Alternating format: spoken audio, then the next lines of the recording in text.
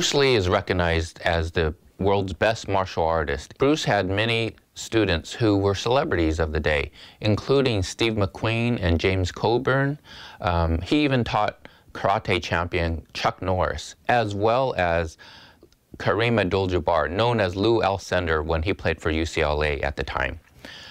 One of Bruce's top students was Hollywood screenwriter Sterling Silliphant.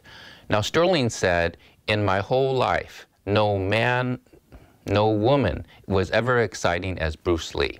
What is it about Bruce Lee that draws people to him, even 40 years after his death? When Bruce was asked if he's really that good, he answered poetically, well, if I say I'm not good, you, you probably think I'm boasting. But if I say I'm no good, you know I'm lying. As a young child growing up in Central California, Bruce Lee was my hero. While I attended college at UC Berkeley, I was given the opportunity of studying Bruce Lee's martial art, known as Jeet Kune Do. In so doing, not only was I able to learn the physical aspects of the martial art, but also Bruce's philosophical approach to martial arts and to life in general. I was very fortunate to be able to learn about both sides, the physical and the mental sides of Bruce's approach to martial arts. In my martial arts journey, I was very fortunate to be able to meet many of Bruce's direct students.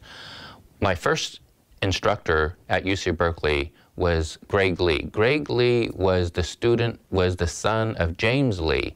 James Lee was a very close associate of Bruce's while Bruce lived in Oakland, California. And, in, and after that, then I was able to meet my Sifu, who I consider my teacher, my father figure, his name was Ted Wong. Ted Wong was one of Bruce's closest students when Bruce lived in Los Angeles, just after he finished doing the Green Hornet TV series.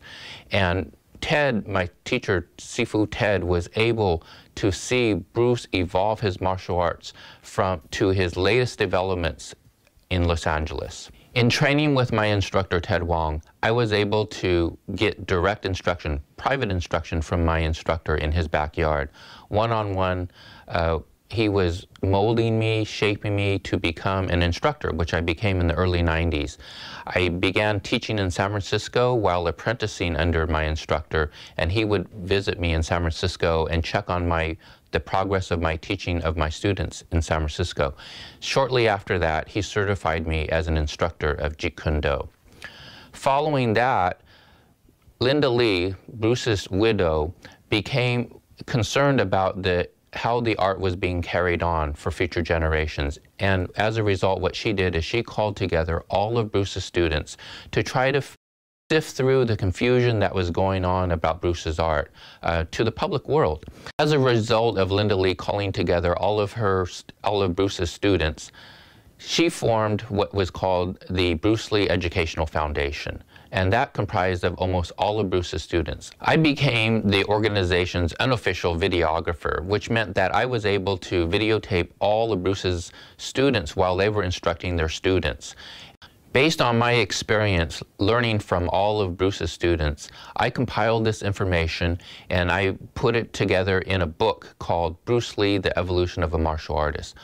What I aim to do there is to chronicle Bruce's evolution from Seattle to Oakland to Los Angeles, where he lived in the United States, and how his art evolved based on his experiences, based on his research, and, and to illustrate that all of his art from beginning, middle to end is his entire life project in martial arts. In my book, people will find that Bruce was very dedicated to his martial art and to healthy living and to his training. He trained between six and eight hours every day, and he realized that that was going to that was his job. That was going to make him his his career. And once he realized that that was, that was going to be his life work, he dedicated himself to daily practice, to daily training. Um, he did a lot of research on martial arts and on physical training. He looked to all of the physical training books, textbooks of the day, and he also looked into uh, bodybuilding. His thirst for martial arts forced him to look at various martial arts and to be able to pick the best things from elements from those martial arts and to be able to cull those together and define what was going to work for him. He also looked to the physical training of the day. He wanted to enhance his physical performance of his techniques. He not only looked to uh, physical training, bodybuilding, to what the trainers were doing in the boxing world of the day, but also to the world of science, biomechanics. He was already looking into biomechanics and being able to see what was going to help him perform his techniques to the highest levels.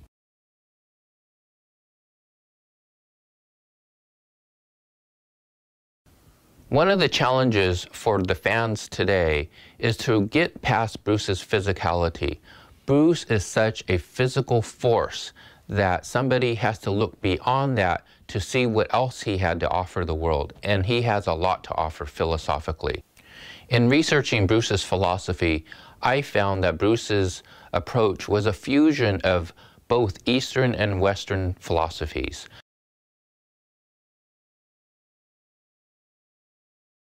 Bruce sketched out a miniature tombstone on letterhead, requesting his student to design and to build such an item as this. And this was actually made by the same person who designed this for Bruce. What Bruce was trying to communicate here is the stifling traditions that confine the student and, and restrict their freedom. So what does it say here? In memory of a once fluid man, crammed and distorted by the classical mess. What Bruce is trying to say here is tradition is, is fine, but once tradition starts confining your freedom, confining your ability to be able to think outside of the box, Bruce was really against that.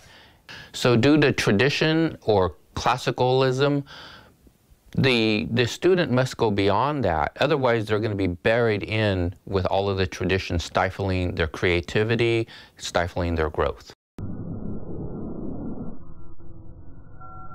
Bruce Lee also had some very powerful images to communicate his martial art. This here is his, is his symbol. Um, the Jeet Kune Do symbol is what we refer to it as. And you will notice that it has both the yin and the yang uh, symbol on here, but he also put the arrow to to communicate that the yin and yang is constantly in motion. It's not just fixed in time. It's constantly evolving, constantly moving. And so Bruce put the arrows on here to to continue to emphasize the continuous motion. Now you will notice that he has uh, ch two Chinese phrases uh, surrounding it. And the two Chinese phrases are in Chinese, Yi Mo Fat Wei Yao Fat, Yi Mo Han Wei Yao Han. Those, those phrases translate into using no way as way, having no limitation as limitation. What Bruce is trying to communicate here is not that I'm just having no particular way in doing something. It is I am actually going beyond the way. I'm going beyond system there is really no system. And when you look at the idea of what yin and yang means, it's really neither for or against. It's really the fusion of the two. And that's something that people have to understand philosophically from an Eastern standpoint. In a Western standpoint, you might have uh, uh, black and white or, or this side or that side. But in Eastern philosophy, it is all one. And it is, again, that yin and yang working together.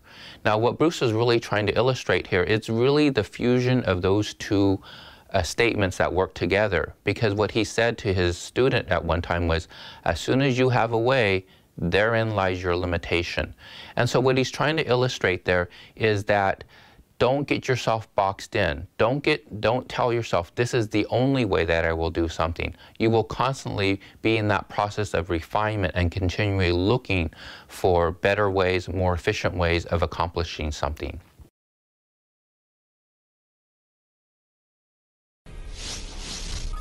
Also, Bruce wanted to illustrate what he called the three stages of cultivation. This first one here, he's he's illustrating yin and yang separate. okay? And this is partiality, the running to extremes. And what Bruce is trying to illustrate here is that yin and yang cannot be separate. That in fact, once you do this, then you do have that dilemma of for or against. In this case here, this is the first stage of, of cultivation that Bruce is trying to illustrate. And Bruce had a very uh, uh, visual way of describing uh, the running to extremes uh, in a screenplay that he wrote. And what he was illustrating was picturing that there's a snowy scene. And in so doing that, you see uh, a, a big oak tree with a big trunk on it with, uh, uh, with a lot of snow on, on it. And what happens is the snow is so heavy that the big branch of the tree cracks and collapses. In the next scene, what Bruce writes is that you have this flexible bamboo that has the snow on it, and in so doing, it, it, the weight of the snow is actually released as soon as the bamboo uh, um, bends enough that it falls down, the snow falls off of it, and as a result, then the bamboo is able to, to uh, flex back upwards.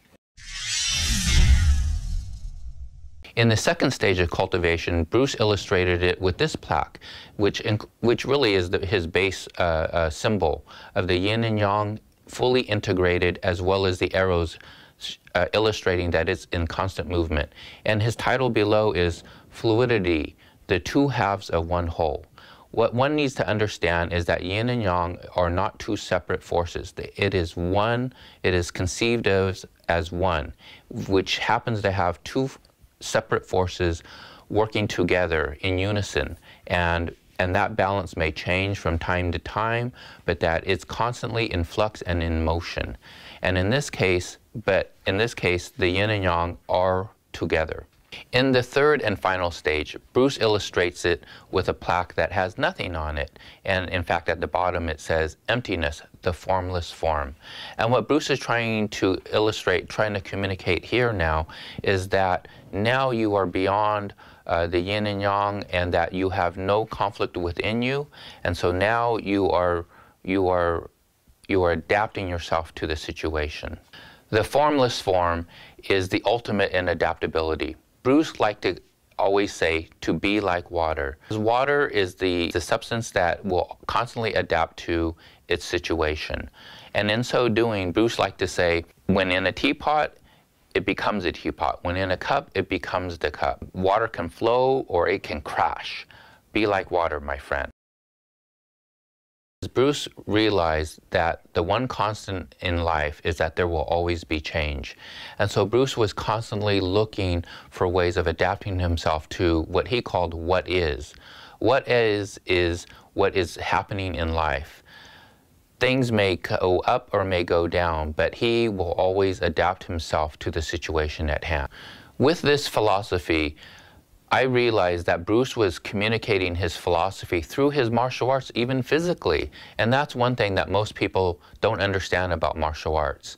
Um, many times, martial artists today are just going through the physical motions. But Bruce lived and breathed his martial arts, not only physically, but mentally and philosophically as well. In my research, one thing I found out about Bruce Lee was that he was a constant reader. In fact, his library comprised of 2,500 books of all sorts of different subjects, including those on martial arts, boxing, fencing, physical training, and philosophy, as well as the self-help books of the day. Bruce would write uh, poems to himself, and these were things coming right out of those books to he utilized these to motivate himself and to motivate others.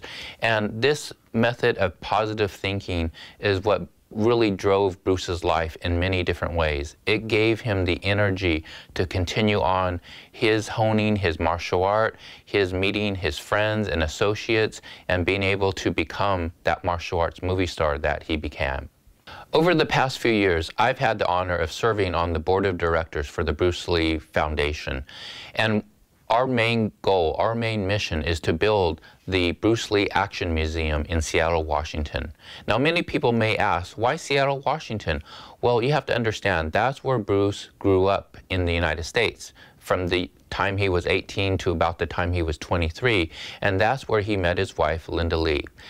When Bruce was going through his times in Hollywood and in Hong Kong, he told Linda that at some time they wanted to return to Seattle. So when he passed away untimely in Hong Kong, Linda decided to take Bruce back and to bury him in, in Seattle. And so that's why we want to build the museum in Seattle, Washington. And we're gaining a lot of support from the city, from the uh, various uh, uh, organizations and corporations being willing to build this museum. We affectionately call it BLAM for Bruce Lee Action Museum. In the Bruce Lee Action Museum, we plan to house the Bruce Lee Library, number one, for his 2,500 books that Linda Lee still kept after all these years, with all of his notations in the books and his, his notes to himself, both in English and Chinese. We would also house his archives, which includes the thousands of pages that he wrote, making notes to himself. Uh, whether it was martial arts or movie making at the time. And we would also have a museum that would display various items and artifacts that people can be inspired by in seeing what moved Bruce. We would also have a learning center where we would have seminars teaching Bruce's martial art and his philosophy. Uh, we found that Bruce's uh, philosophy has touched lives all around the world. And so we want to have a location where people can go to to pay their respects to him and also to continue being inspired to live their lives to their fullest.